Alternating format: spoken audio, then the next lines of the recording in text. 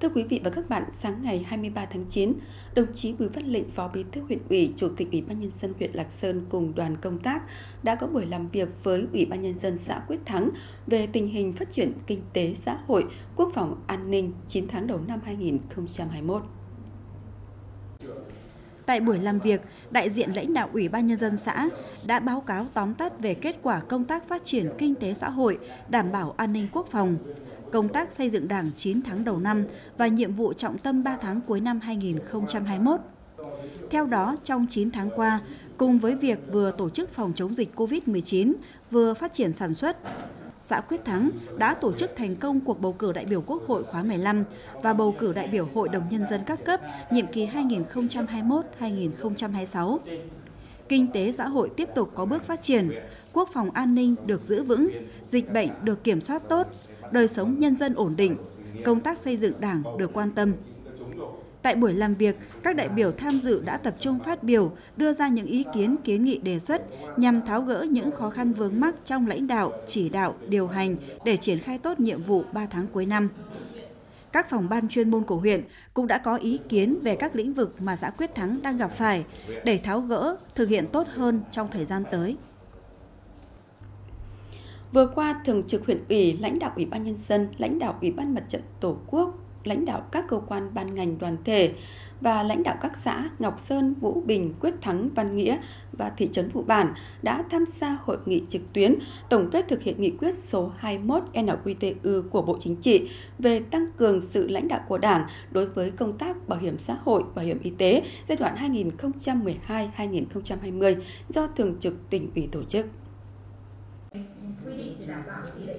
Tại hội nghị, các đại biểu tập trung thảo luận về những khó khăn hạn chế trong thực hiện nghị quyết số 21 NQTU, như một số cấp ủy chính quyền chưa quan tâm chỉ đạo việc phổ biến sâu rộng các chủ trương của Đảng, công tác phát triển người tham gia bảo hiểm xã hội, bảo hiểm y tế, bảo hiểm thất nghiệp chưa đáp ứng yêu cầu đề ra. Tình trạng không đóng, chậm đóng, nợ động bảo hiểm, công tác giám định, hỗ trợ thẻ bảo hiểm y tế vùng khó khăn, chất lượng thuốc, vật tư bảo hiểm y tế thấp, thái độ phục vụ của một số cán bộ y tế, thủ tục hành chính chưa đáp ứng sự hài lòng của người bệnh. Trong thời gian tới, các cấp, các ngành cần tăng cường công tác lãnh đạo chỉ đạo của các cấp ủy đảng, chính quyền đối với công tác bảo hiểm xã hội, bảo hiểm y tế giai đoạn 2021-2030 tăng cường công tác quản lý nhà nước trong lĩnh vực bảo hiểm xã hội, bảo hiểm y tế đối với các sở ngành, tổ chức có liên quan. Đẩy mạnh tuyên truyền phổ biến chính sách bảo hiểm xã hội, bảo hiểm y tế, hoàn thiện thể chế chính sách bảo hiểm xã hội, bảo hiểm y tế, cải cách hành chính, nâng cao chất lượng phục vụ, ứng dụng công nghệ thông tin trong quản lý. Đồng thời, tiếp tục kiện toàn tổ chức bộ máy cơ quan bảo hiểm xã hội theo hướng chuyên nghiệp, hoạt động hiệu lực hiệu quả, nâng cao trình độ chuyên môn nghiệp vụ, và tinh thần thái độ phục vụ người tham gia thụ hưởng chế độ bảo hiểm xã hội, bảo hiểm y tế của đội ngũ cán bộ, viên chức ngành bảo hiểm xã hội. Vừa qua, Hội nạn nhân chất độc da cam dioxin huyện Lạc Sơn đã đăng cai tổ chức hội nghị trao đổi kinh nghiệm hoạt động công tác hội năm 2021. Rồi nghị có lãnh đạo Hội nạn nhân chất độc da cam dioxin tỉnh Hòa Bình và lãnh đạo Hội nạn nhân chất độc da cam dioxin các huyện, thành phố trong tỉnh. Tại hội nghị, các đại biểu đã nghe lãnh đạo Hội nạn nhân chất độc da cam dioxin huyện Lạc Sơn báo cáo tóm tắt về tình hình hoạt động của hội. Trong thời gian qua, các cấp hội trong huyện đã có nhiều việc làm thiết thực nhằm giúp hội viên xoa dịu nỗi đau da cam vươn lên trong cuộc sống. Với sự quan tâm ủng hộ của các cấp ủy đảng, chính quyền, ngành đoàn thể, doanh nghiệp và các nhà hảo tâm, từ đầu năm đến nay, Hội nạn nhân chất độc da cam dioxin huyện Lạc Sơn đã tổ chức thăm và tặng quà trong các dịp lễ Tết, trao bò giống, sửa chữa, xây mới nhà ở, khám chữa bệnh miễn phí, đưa người đi điều dưỡng sông hơi, giải độc cho một số hội viên trong hội. Tại hội nghị, đại diện Hội nạn nhân chất độc da cam dioxin các huyện thành phố trong tỉnh đã chia sẻ kinh nghiệm tổ chức hoạt động hội, những thuận lợi khó khăn trong công tác vận động hội viên. Công tác hỗ trợ giúp đỡ hội viên vươn lên phát triển kinh tế, xóa đói giảm nghèo bền vững. Vừa qua, Đảng ủy xã Tân Lập đã tổ chức hội nghị tiếp xúc đối thoại với nhân dân xóm Đồi Đăng xã Tân Lập về một số vấn đề mà nhân dân quan tâm. Tham dự buổi tiếp xúc đối thoại có đại diện Sở Công Thương, Ban dân vận huyện ủy Lạc Sơn, Phòng Kinh tế Hạ tầng, huyện đoàn, Trung tâm Giáo dục nghề nghiệp và Trung tâm Giáo dục Thường xuyên huyện Lạc Sơn. Tại buổi tiếp xúc đối thoại, các đại biểu đã được nghe báo cáo tóm tắt kết quả tổng hợp phiếu khảo sát ý kiến nhân dân xóm Đồi Đông, xã Tân Lập. Tiếp đó, lãnh đạo đảng ủy và các cơ quan liên quan tham gia buổi tiếp xúc đối thoại đã trực tiếp trả lời các ý kiến thắc mắc của người dân liên quan đến các lĩnh vực đầu tư cơ sở hạ tầng, phát triển kinh tế xã hội, giữ gìn an ninh trật tự trên địa bàn và thực hiện các chế độ chính sách đối với các đối tượng được hưởng theo quy định của nhà nước với tinh thần cầu thị thẳng thắn, các đồng chí lãnh đạo đảng ủy, lãnh đạo các cơ quan liên quan đã lắng nghe và tiếp thu những ý kiến đề xuất của người dân. Những vụ việc vấn đề mà người dân phản ánh, trao đổi đều được làm rõ, trả lời cụ thể, xác đáng ngay tại buổi đối thoại. Việc tổ chức hội nghị đối thoại trực tiếp giữa người đứng đầu cấp ủy chính quyền với nhân dân có ý nghĩa quan trọng, giúp các đồng chí lãnh đạo địa phương trực tiếp lắng nghe, tiếp thu ý kiến, kiến nghị, đề xuất cũng như tâm tư nguyện vọng của nhân dân. Qua đó, kịp thời giải quyết những vấn đề mà dư luận quan tâm. Diễn biến phức tạp của dịch COVID-19 đã khiến nguồn máu điều trị trong các bệnh viện thiếu hụt. Nhằm tạo nguồn cung cấp máu an toàn cấp cứu điều trị người bệnh, Ban chỉ đạo hiến máu tình nguyện huyện Lạc Sơn đã triển khai kế hoạch hiến máu tình nguyện đợt 2 năm 2021. Đối tượng là cán bộ công chức, viên chức chuyên trách, bán chuyên trách, giáo viên các nhà trường, cán bộ nhân viên trạm y tế, đoàn viên thanh niên, người lao động, nhân dân các xã thị trấn, người tình nguyện tham gia hiến máu có đủ sức khỏe và độ tuổi từ 18 đến 60 tuổi đối với nam, 18 đến 55 tuổi đối với nữ. Dự kiến Ngày hội hiến máu được tổ chức vào sáng Chủ nhật, ngày 7 tháng 10 năm 2021 tại Nhà văn hóa thể thao huyện. Theo đó, huyện phấn đấu 100% xã thị trấn và các cơ quan đơn vị có người tham gia hiến máu tình nguyện với số đơn vị máu dự kiến thu được khoảng 500 đơn vị máu trở lên. Để ngày hội hiến máu tình nguyện đạt được kết quả cao, Ban chỉ đạo hiến máu tình nguyện huyện đã tuyên truyền, vận động các cơ quan, đơn vị, tầng lớp nhân dân tích cực tham gia hiến máu tình nguyện, thể hiện tính nhân văn sâu sắc, nghĩa cử cao đẹp của con người, đồng thời bổ sung nguồn máu trong cấp cứu và điều trị người bệnh. Vừa qua tại huyện Lạc Sơn, Tòa án Nhân dân tỉnh Hòa Bình đã tổ chức lễ công bố và trao quyết định bổ nhiệm chức vụ tranh án Tòa án Nhân dân huyện Lạc Sơn.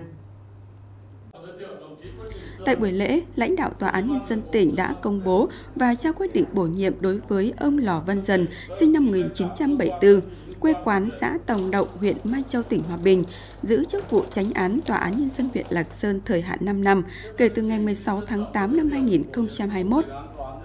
Chúc mừng đồng chí Lò Văn Dần, lãnh đạo Tòa án Nhân dân tỉnh và lãnh đạo Ủy ban Nhân dân huyện Lạc Sơn đã bày tỏ mong muốn đồng chí tiếp tục rèn luyện phấn đấu, không ngừng nâng cao tinh thần gương mẫu, khả năng quy tụ là chỗ dựa vững chắc và cùng tập thể Tòa án Nhân dân huyện đoàn kết thống nhất để thực hiện nhiệm vụ cải cách tư pháp mà Đảng và Nhà nước đã giao phó.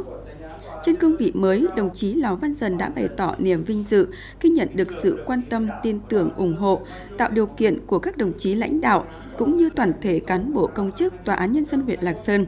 và hứa sẽ thừa kế những thành tích của lớp các thế hệ đi trước, không ngừng đổi mới, tận tâm tận lực, góp sức xây dựng Tòa án Nhân dân huyện Lạc Sơn ngày càng phát triển.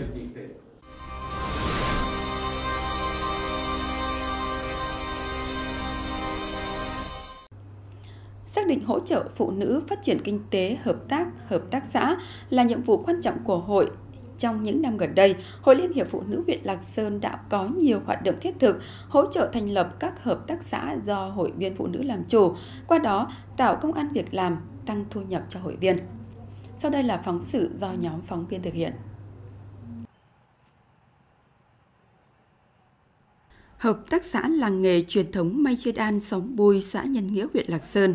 có thể thấy được hiệu quả mà mô hình đem lại đối với chị em phụ nữ nơi đây. Từ chỗ chỉ đan những đồ dùng phục vụ cho nhu cầu cuộc sống thường ngày. Được sự hỗ trợ của Hội Liên hiệp Phụ nữ huyện, bà Quách Thị Dung đã đứng ra thành lập Hợp tác xã làng nghề truyền thống Mây Chê Đan xóm Bùi, xã Nhân Nghĩa, huyện Lạc Sơn hợp tác xã không chỉ phát huy được sự khéo léo của phụ nữ Mường, giữ gìn và phát huy được truyền thống đan răng khọ của địa phương, mà còn tạo công ăn việc làm với mức thu nhập ổn định cho chị em phụ nữ trong xã Nhân Nghĩa và các xã lân cận với mức thu nhập từ 3 đến 5 triệu đồng một tháng cho hàng trăm chị em. Không chỉ tạo được công ăn việc làm thường xuyên cho các thành viên, hợp tác xã còn tạo công ăn việc làm cho hàng trăm lao động trong xã, cũng như các xã bản lân cận. Qua đó, tạo điều kiện cho chị em phụ nữ có thêm thu nhập cũng như có thời gian chăm sóc gia đình. Được sự à, hỗ trợ của Hội Phụ nữ ờ, Hội Liên hiệp Phụ nữ huyện Lạc Sơn thành lập một các xã là một truyền thống như che đan cho uh, 6 năm. Và từ năm 2020 đến nay thì các tác xã cũng à, có 25 thành viên cũng đã hoạt động như là hoạt động đều đặn. Ờ, Cả công ờ, việc cũng ổn định. Tạo công an việc làm, bây giờ là cũng cho nhân dân 50 chị chị em cũng trong xóm. Ngày trước thì ờ, làm hàng làm ra mặt hàng này thì cũng chỉ để làm những đồ đựng trong gia đình. Nhưng từ ngày có thành lập tác xã thì có nhiều cái điểm du lịch trong nước ngoài nước người ta đến đặt hàng nhưng là làm hàng này cũng, chị em cũng rất là thuận lợi. Trong sản xuất và đầu ra cũng ổn định. Trước hết cũng cảm ơn chị Dung đã tạo điều kiện cho các chị em phụ nữ trong thôn và đã giúp các chị à, có công ăn việc làm ổn định và đã tăng thu nhập cho gia đình có điều kiện thì cuộc sống nó tốt hơn. Trước đây chị cũng chưa biết tan và cách đây khoảng hai hai, ba năm ấy, chị vừa học xong rồi đan thì đang được những sản phẩm như này bộ ba như này là thì cân thu nhập một ngày trung bình 100 và vừa làm công việc ở nhà hỗ trợ các thứ thì mình tranh thủ thôi. Thực hiện đề án 939 của chính phủ về hỗ trợ phụ nữ khởi nghiệp, Hội Liên hiệp Phụ nữ huyện Lạc Sơn đã có kế hoạch cụ thể hóa các mục tiêu, nhiệm vụ, định hướng cho các cấp trong huyện, tập trung tổ chức triển khai các hoạt động cụ thể của đề án, hướng đến tiếp sức mô hình kinh tế tập thể do phụ nữ thực hiện, ưu tiên hỗ trợ cho nhóm phụ nữ yếu thế vươn lên làm chủ, phát huy lợi thế và tiềm năng phụ nữ trong sản xuất kinh doanh, tạo điều kiện cho phụ nữ đóng góp nhiều hơn cho kinh tế địa phương. Trong nhiệm kỳ 2016-2021, Hội Liên hiệp Phụ nữ huyện Lạc Sơn đã làm tốt công tác vận động, hỗ trợ phụ nữ khởi nghiệp, thành lập hợp tác xã phát triển kinh tế giảm nghèo bền vững. Hội Liên hiệp Phụ nữ huyện đã hướng dẫn thành lập 5 hợp tác xã theo luật hợp tác xã năm 2012, thành lập 4 tổ hợp tác chăn nuôi gà sạch, xây dựng tổ liên kết sản xuất rau an toàn về trồng cây mang tây, tổ liên kết muối hạt rồi, trong đó có 12 doanh nghiệp do Hội viên Phụ nữ làm chủ. Hội Liên hiệp Phụ nữ các cấp trong huyện cũng đã thực hiện tốt chương trình ủy thác và vay vốn tại Ngân hàng Chính sách Xã hội với tổng dư nợ đến thời điểm hiện tại là trên 124,5 tỷ đồng, với 4.800 thành viên vay vốn. Qua đó, giúp hội viên phụ nữ có vốn đầu tư phát triển sản xuất, góp phần tăng thu nhập, cải thiện điều kiện sống. Thì à, vừa qua thì hội phụ nữ đã làm được rất là nhiều việc. Thứ nhất là hỗ trợ giúp đỡ à, hội viên phụ nữ à, phát triển kinh tế gia đình à, cải thiện mức sống và góp phần cùng đảng bộ địa phương thực hiện xóa đói giảm nghèo. Cái thứ hai nữa mà chúng tôi nhận thấy được đó là hỗ trợ phụ nữ khởi nghiệp. Nhiệm kỳ này là hội liên hiệp phụ nữ huyện Lạng sơn đã hỗ trợ uh, cho các mô hình uh, khởi nghiệp và có 49 chị em đã được Hội Phụ Nữ hỗ trợ từ nguồn vốn khởi nghiệp của Hội Liên hiệp Phụ nữ huyện Lạc Sơn. Bên cạnh đó thì Hội Liên hiệp Phụ nữ huyện Lạc Sơn đã xây dựng các thương hiệu, nhãn mác, sản phẩm để giới thiệu uh, ra các uh, thị trường và từ cái sản xuất manh mún thì hiện nay chúng tôi đã có cái quy mô sản xuất thành mô hình và đã có sản phẩm. Có thể khẳng định kết quả đạt được trong việc thực hiện các hoạt động hỗ trợ phụ nữ khởi nghiệp, thành lập các tổ hợp tác, hợp tác xã của Hội Liên hiệp Phụ nữ huyện Lạc Sơn thời gian qua đã góp phần nâng cao nhận thức của phụ nữ về chủ trương, chính sách pháp luật của Đảng, Nhà nước về khởi nghiệp, thúc đẩy hiện thực hóa các ý tưởng kinh doanh, góp phần thực hiện mục tiêu quốc gia về phát triển doanh nghiệp và chiến lược quốc gia về bình đẳng giới.